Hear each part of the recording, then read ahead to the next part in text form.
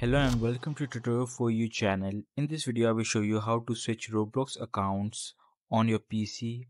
To switch Roblox accounts in the browser version follow these steps. In the top right corner of the Roblox homepage click on the gear icon.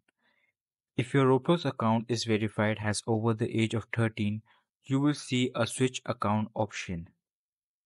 Select it and then click on add account log into the new account and you can easily switch between them. If your account is not verified has over 13, then you have to choose the option logout. After logging out, you can log in to the other account.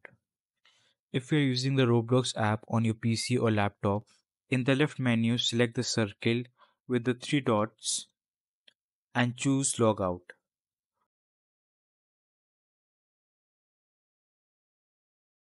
To switch accounts, select login and enter the credential for the other account.